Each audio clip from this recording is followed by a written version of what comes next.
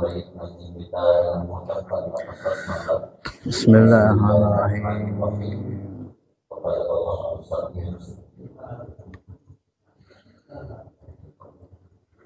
Bismillahirrahmanirrahim.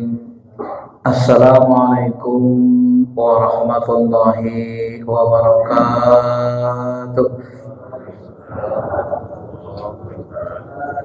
Si ngantuk kena.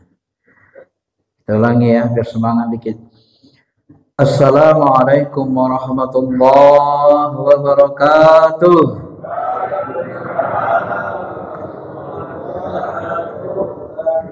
Alhamdulillah Alhamdulillahilladzi allamal insan wa 'allamahul bayan asyhadu an la ilaha illallah anna muhammadar rasulullah. Allahumma salli ala habibina syafi'ina Muhammadin wa ala alihi wa sahbihi ajma'in amma ba'd.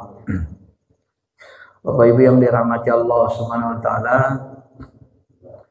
Mari sama-sama kita mensyukuri nikmat kehidupan, nikmat kesehatan, nikmat iman, nikmat ilmu, nikmat ma'rifah, serta nikmat ketenangan yang Allah berikan kepada kita semua. Mudah-mudahan dengan banyak bersyukur, kita dicatat sebagai hamba-hamba syakirin yang pandai bersyukur kepada Allah Subhanahu wa taala. Bapak Ibu, ini saya ambil temanya tentang marotib azzikr, level-level tingkat-tingkat zikir. Sebenarnya ini ilmunya sangat penting, tetapi memang ilmu ini agak sedikit lompat. Karena belajar dari awal ini saya ambil di beberapa ada buku ini. Kita ambil yang penting-penting saja. Kenapa ini penting Bapak Ibu? Maratib zikir ini, level-level zikir ini penting karena kalau kita zikirnya tidak benar kepada Allah, maka hampir bisa dipastikan sholatnya tidak pernah khusyuk. Walaupun kita dikasih umur 100 tahun, sholatnya nanti nggak khusuk-khusuk. Kenapa? Karena tidak ada yang menuntun cara zikir, cara kita mengingat Allah dengan baik dan benar. Ilmu ini termasuk ilmu spiritual Islam. Yang lalu kita sudah membahas syariat, fikih tentang sunnah bid'ah. Yang ini kita mau mengkaji dalamannya. Ilmu Islam ini kan ada zahir, ada batin. Yang batinnya ini sebenarnya yang lebih perlu tetapi sedikit pula orang yang mau belajarnya itu pula kenapa dikatakan lebih perlu Yusuf Qardawi dalam fikih prioritas mengatakan dalam Islam itu sebenarnya wilayah batin itu lebih utama daripada wilayah jasmani sama dengan keutamaan ruh dengan jasad jasad kita ini nggak ada apa-apanya kalau nggak ada ruh ya, kalau nggak ada ruh kita, jasad kita ini nggak dihargai orang, dibuang. Ya kan? Benar. Dibawa ke kuburan kan untuk menghormati. Yang membuat kita dihargai, dimuliakan sebenarnya adalah ruh. Maka faiza sawaituhu wa nafakhtu fihi min ruhi faqa'u lahu sajidin kata Allah. Kalau Adam sudah kuciptakan, kusempurnakan, sawaituhu wa nafakhtu fihi min ruhi aku tiupkan dari ruhku Wah, ini tiup ya. Allah menggunakan kata tiup walaupun sebenarnya kata tiup ini bukan berarti ruh itu seperti udara seperti kata Ibnu Taimiyah ya kalau sifatnya seperti udara mungkin tapi kalau bentuknya pendapat yang kuat tidak seperti udara ya. Tuhan hanya menggunakan kata itu supaya lebih mudah kita memahami. Mendekat-dekati. Aku tiupkan dari ruhku. Nah, ruh yang ditiupkan Allah itulah sebenarnya yang paling mulia. Ya, sesudah sempurna jasad, sudah ditiupkan ruh baru datang perintah faqa'u lahu sajidin. Sesudah itu baru kalian sujud malaikat kata Allah. Artinya kalau ruh belum ditiupkan maka manusia tidak sempurna. Perintah sujud kepada malaikat tidak ada. Maka sesudah ditiupkan ruh itulah baru malaikat disuruh sujud menghormati manusia. Ya. Kenapa manusia ini sangat mulia? Karena manusia ini adalah miniatur alam semesta. Benda-benda alam semesta, makhluk-makhluk, benda-benda yang jahir yang batin, makhluk jahir batin itu ada dalam diri kita. Yang jahir ada tanah, ada unsur tanah kita, ada air, ada air, darah kita, ada udara, ada angin, ya, kita terus bernapas, ada api, kalau kita marah muncul api kita itu Pak, merah gitu. Unsur alam semesta ini ada diri kita. Ada unsur setan.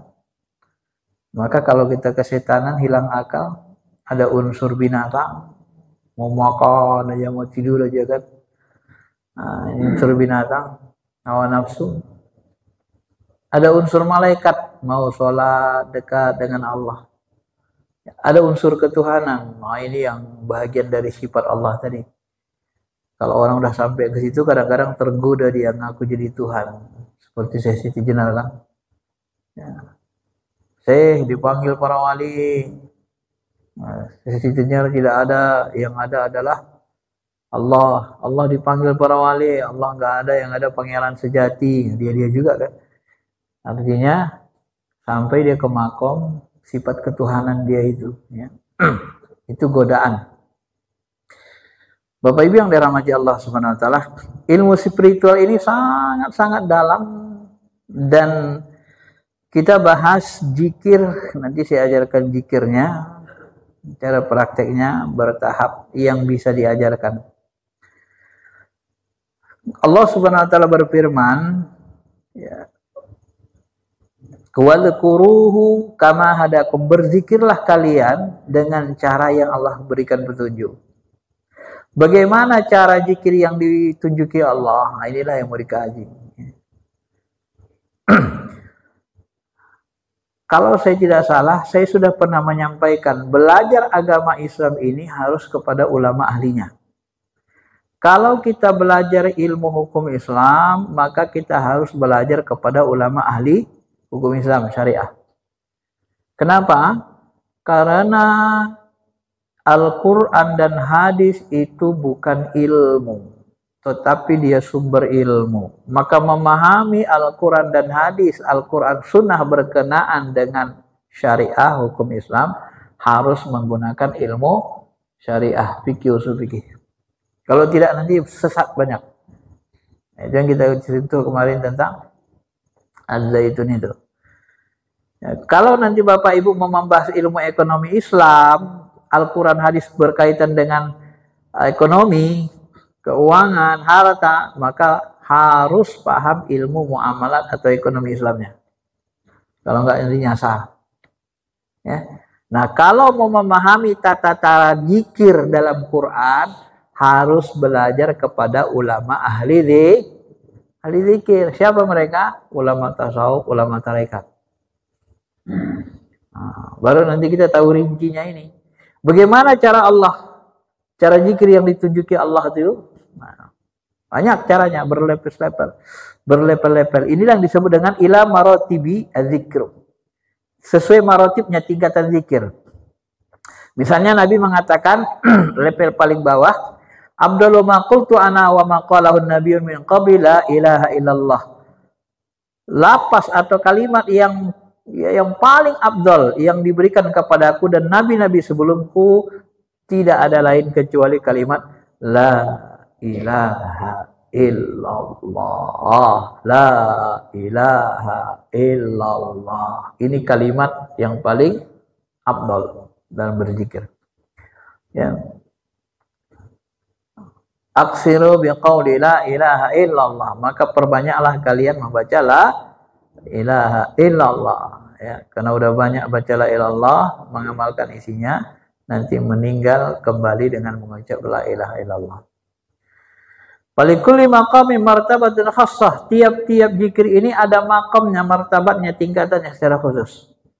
Nah, yang diajarkan Allah itu walkurullaha. Ingatlah Allah, berzikirlah kepada Allah nah, jahratan dengan secara jahar alaniyah terang-terangan au khopian atau dengan cara sembunyi. Jadi secara umum zikir itu ada zikir jahar, ada zikir sembuh sembunyi jika dalam hati dalam kalbu. Nah, jika jahar sudah sama tahu lagi kita kan la ilaha illallah la ilaha illallah la ilaha illallah. Jika zikir tersembunyi gimana?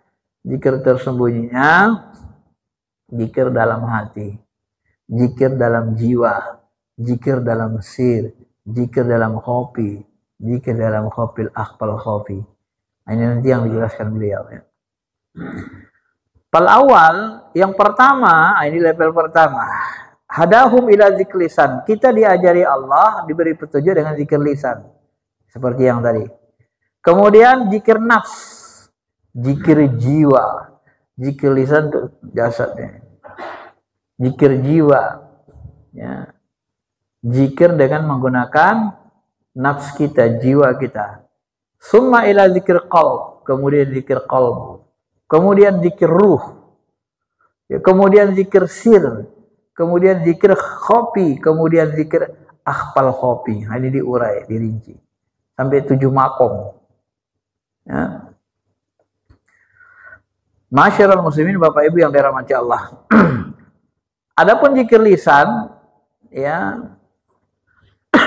itu fungsinya adalah mengingatkan kolbu kita supaya tidak lupa dari mengingat Allah.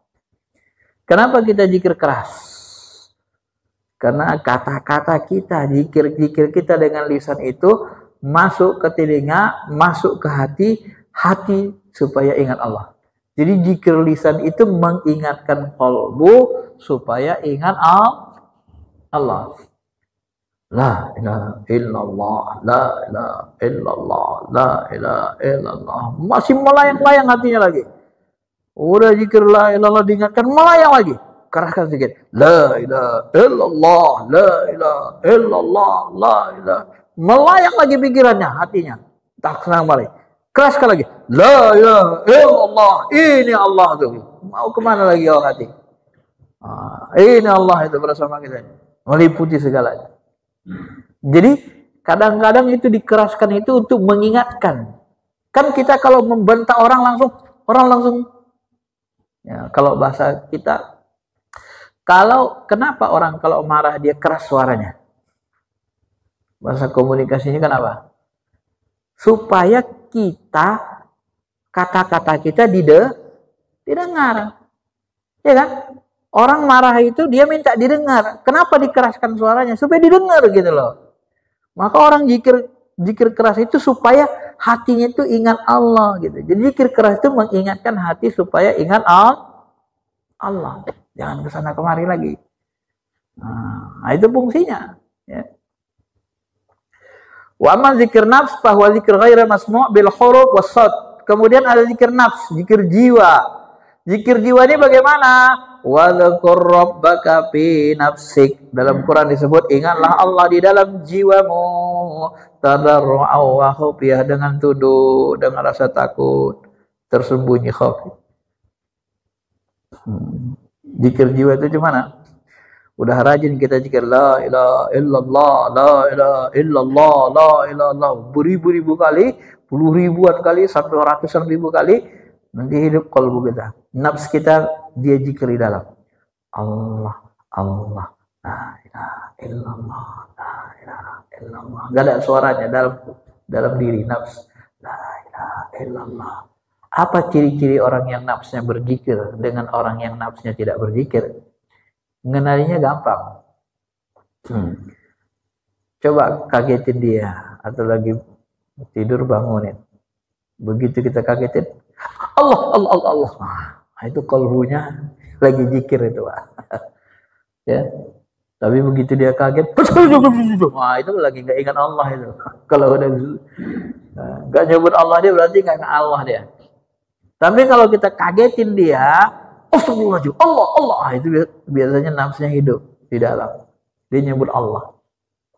Nah, maka ketika kita bangun tidur, yang pertama nanti kita ingat Allah. Itu zikir nafs.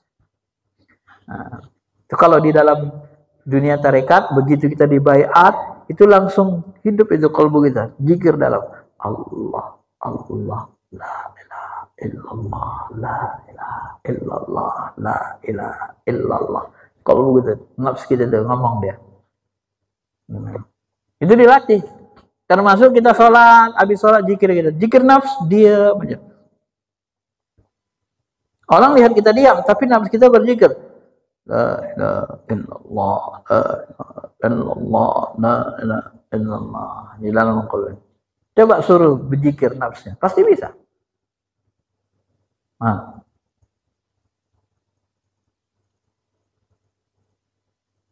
Ah kepalanya goyang. Tapi dalam zikir kan nggak ada suaranya. Itu zikir nafs namanya ya, zikir jiwa. Ya, ter, dia tidak tidak tidak bisa didengar, nggak ada suaranya ya, nggak pakai suara dalam dia. Kalaupun ada suara, suara batin namanya. Ia hanya bisa didengar dengan indera dan gerakan dalam batin, dalam batin kita, indera batin yang dengarnya. dalam hati kita. Nah, Ngomong dia kan, ngomong sendiri. Nah, supaya dia hidup itu, dia harus zikir lisan so banyak-banyaknya. Kalau bisa puluhan ribu atau ratusan ribu nanti, baru dia ngomong sendiri. Nanti perintah dia zikir sendiri. Ya. Kemudian yang ketiga, namanya zikir kolbi. Ya, Zikir kolbi itu apa? Nah, ini sini katakan beliau untuk menggali jalaliyah dan jamaliyah yang terkandung dalam hati. Jadi untuk menghidupkan kolbu, untuk mapi domirihi, supaya hati kita itu merasakan kebesaran Allah, jalalnya, dan keindahan Allah. Nah kalau saya bahasakan dengan bahasa kita, jikir kolbu, jikir hati itu Bapak Ibu, kita harus hayati, resapi, nikmati zikir kolbu itu. Ya, nanti kita merinding. Kalau pakai zikir kolbu, dia merinding. Sebagian mursyid kita menyebut uh, itu terasa di seluruh tubuh kita kita merinding. Astagfirullahaladzim. Zikir lisan kan, ikutkan kolbunya. Terasa dia. Begitu kita katakan, Ya Allah, Ya Rahman. Eh, Rahman Maha Pengasih, nikmati Allah itu Maha Pengasih. Rasakan kasih sayang Allah dalam tubuh kita. Ya Allah, ya Pasti kita nangis. Karena kalbu itu dia kalau disentuh, dia ngeluarin air mata. Ya. Nah, itu cara jikir. Jadi jikir itu bukan kayak jikir beo. Tahu Bapak Ibu jikir beo? Beliau itu bisa dilatih zikir. Nah, coba dia suruh bilang, Subhanallah, Subhanallah, Subhanallah. Nanti dia dah ngomong dia, Subhanallah, Subhanallah, Subhanallah, Subhanallah. Zikir beliau tahu kan? Zikir beliau itu zikir pakai lisan saja. Mulutnya dia zikir, kalbunya gak ikut. Nah, itulah yang membuat sholat kita nggak pernah bisa khusyuk. Kenapa? Karena setiap kita berzikir, beribadah, kalbu tidak dilibatkan. Akhirnya kalbu gak bersih-bersih ya. Gak hidup-hidup. Ya. Kalau seperti itu, maka nanti level kita setara dengan beo. Karena beo itu bisa ngomong, bisa jikir pakai lisannya. jelek kan? jelek kan? Kalau kita disetarakan dengan burung beo. Maka berzikir itu ya harus libatkan kalbu. Kalau enggak nafsu kalbu. Nanti. Supaya bersih dia.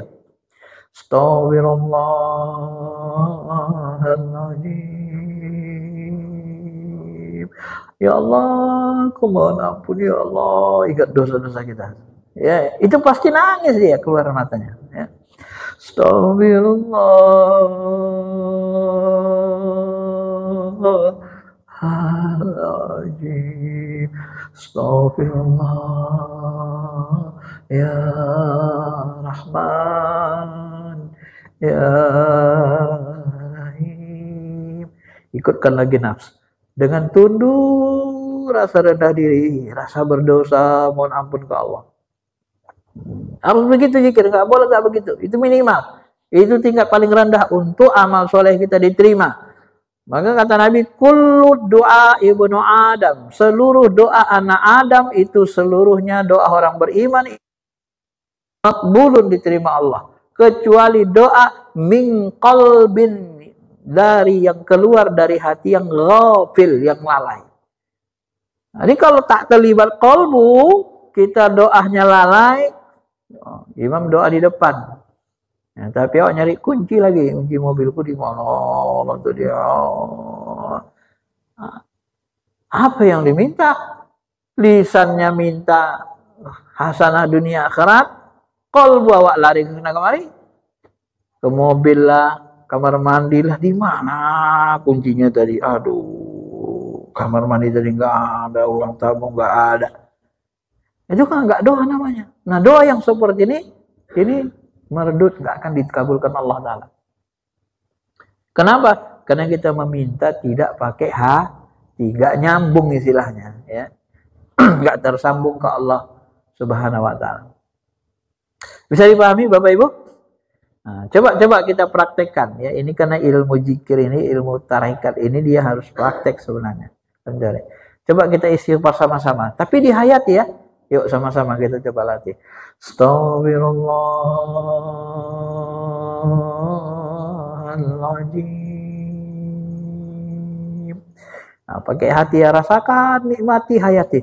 Astaghfirullahaladzim. Astaghfirullah. Ya Rahman. Ya Rahim. Astaghfirullah. Ya Rahman. Ya Rahim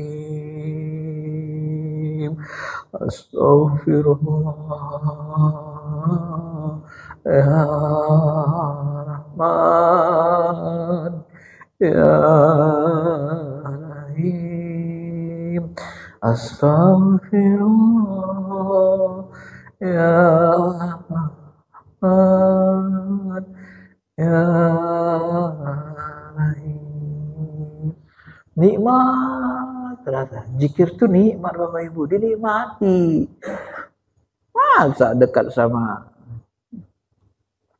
calon suaminya, calon istrinya nikmat, dekat sama Allah nggak ada rasa. Penyakit itu kolbunya itu. Ya kan? Mohon, mohon maafnya dekat kita sama orang yang kita cintai. Sama orang calon suami kita, calon istri kita. Nah, sebelum nikah dulu. Dekat aja udah terasa senang. Eh, jikir sama Allah, dekat sama Allah nggak ada rasa. Aneh nggak? Aneh. Karena nggak ada yang ngajari. Nanti kolbunya bermasalah itu kan. Masa dekat sama Allah ter, ternyata. Padahal Allah sudah janjikan kan. Jikir kolbu itu dia akan melahirkan itmainnul qulub. Ala bidzikrillahi tatmainnul qulub. Dengan jikir hatimu tenang. Nih,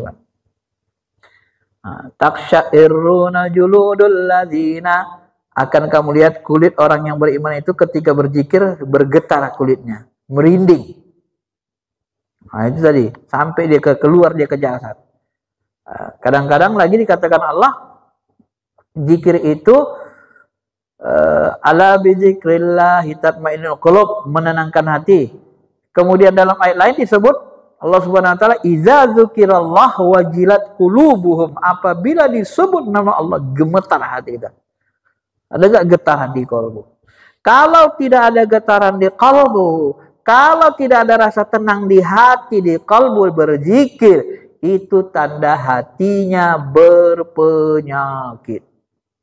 Hatinya masih jauh dari Allah. Ya. Maka jangan heran orang ibadah sampai 10, 20, 30 tahun nggak muncul rasa dekat sama Allah. Nggak ada nikmat dekat sama Allah. Kenapa? Ya karena tadi tidak diamalkan zikir kolbu itu. Ya. Baik, saya pahami ya. Bisa pahami sampai sini? Level 3. Ini level keempat. Ya, yang bisa saya ajarkan sampai level keempat. Namanya zikir ruh. Ya. Wa amma natijat zikir ruh bahwa musyahadah anwar tajalliyat sifat. Adapun hasil dari zikir ruh, zikir menggunakan ruh, kita akan menyaksikan cahaya kenyataan sifat-sifat Allah, bukan cahaya jat, masih masuk alam sifat. Ya. Kalau zikir sir, dia menyingkap rahasia-rahasia ketuhanan. Zikir kopi, dia dekat dengan cahaya keindahan jat, cahaya jat. Ya. Kalau zikir akhpal kopi, baru dia melihat hakikat jat. Nah, itu tidak makom kita. Yang bisa saya ajarkan untuk umum itu yang memungkinkan untuk kita gapai adalah sampai zikir ruh. Ya. Nah, kalau sudah zikir asyaran, muka syafal asar tersingkap rahasia-rahasia ketuhanan, itu orangnya sudah bisa ngomong dengan Tuhan, dapat ilham. Seperti mursyid kita, udah kalau dibuka Tuhan lagi asrarnya, bisa melihat alam ruh. Makanya Nabi kan melihat ruh-ruh para nabi sholat. Waktu Isra Mi'raj sholat. Nabi Muhammad yang mengimami. Itu kalau pakai sir. Lebih dalam. Nah bagaimana dengan jikir ruh ini? Nah, jikir ruh ini bisa saya ajarkan. Karena dia masih sifatnya umum. jikir ruh itu gini. Nah, ilmu ini harusnya di, di apa dulu. Tapi nggak apa-apa untuk umum bisa dilatih-latih. Ya. Jikir ruh itu nanti fungsinya nanti kita menyaksikan sifat Allah inilah yang disebut dengan ihsan. Nah, mendekati ihsan. Anta abudullah ka'annaka tara. Engkau beribadah atau menyembah Allah seperti benar-benar melihatnya. Nah, ini kita baru melihat nur sifatnya. Cahaya sifat belum cahaya jat bagaimana caranya Ustaz? Oke. okay. Caranya gini, coba dipraktekkan sama-sama. Bapak Ibu, coba lihat ruang kosong di depannya. Ini ada ruang kosong nih kan? Nah, lihat ruang kosong depannya pakai mata, kepala. Terlihat ruang kosong? Lihat enggak? Apa isinya ruang kosong ini? Isinya apa? Ya, secara kasat mata isinya kosong. Ya namanya ruang kosong. ya kan? Kosong. Nah, kalau di dalam batinnya ruang kosong ini di sini ada alam ruh, alam jin, alam malakut. Semua di sini ada. Ruang kosong nih. Di balik ruang kosong nih termasuk ada wilayah ketuhanan. Ya, maka yakini di balik ruang kosong ini ada jatnya meliputi segala-galanya. Cuman mata hati kita belum kebuka, jangankan untuk melihat cahaya jatnya, cahaya sifat saja belum belum nembus nih. Maka untuk membuka kolbu kita pelan-pelan harus gunakan jikir berlepel tadi. Ya. Jikir itu lihat ruang kosong. Ayo jikir ruang kosong. Lihat ruang kosong ini sudah sama-sama semua. Ya mudah-mudahan ada nanti manfaatnya, ada bedanya dengan jikir biasa. Udah lihat ruang kosong? Lihat ruang kosong pakai mata hati juga. Satukan dengan mata kepala. Istighfar mohon ampun ke Allah. Astagfirullahaladzim. Yakini di balik segala sesuatu ruang kosong ini ada Allah. Yang meliputi segala-galanya.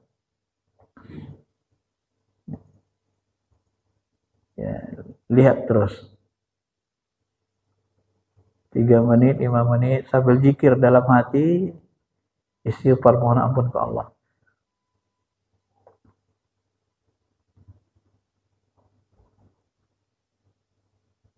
Ya, terus lihat ruang kosongnya pakai mata kepala dengan mata hati.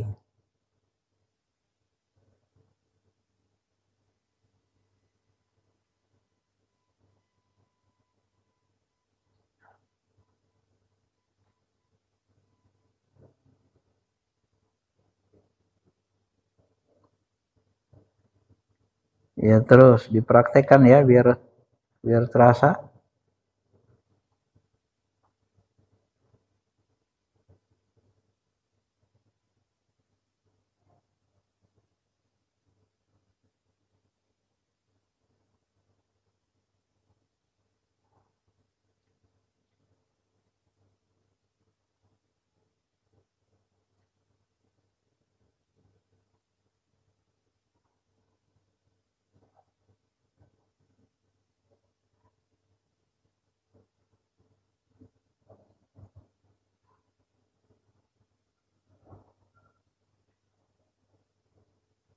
Terus minimal 3 menit lah ya. Biar ada rasanya. Istighfar, istighfar, mohon ampun. Kalau tundukkan hati kita.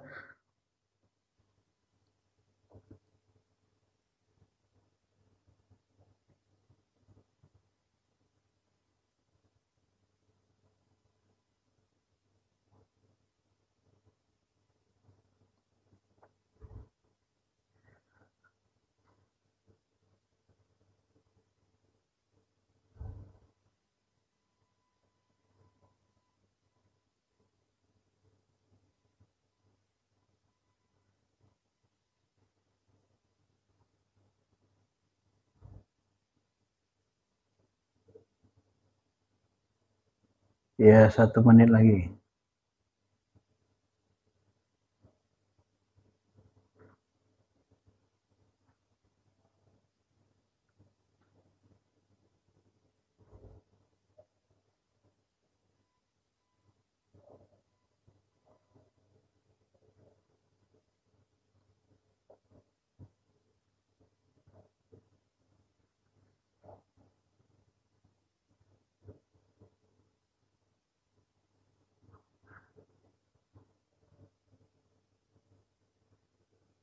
Oke, naikkan lagi dikit, cukup. Pertanyaan saya, gimana rasanya dengan jikir biasa yang selama ini Bapak Ibu lakukan?